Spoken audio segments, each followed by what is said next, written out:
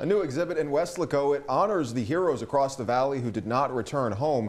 That exhibit is called The Cost of Freedom. It shares the stories of those who didn't return and educates the public about what it costs to have the freedoms we experience today. These brave men and women deserved to come home, but not all did. So uh, we don't deserve, there's a cost.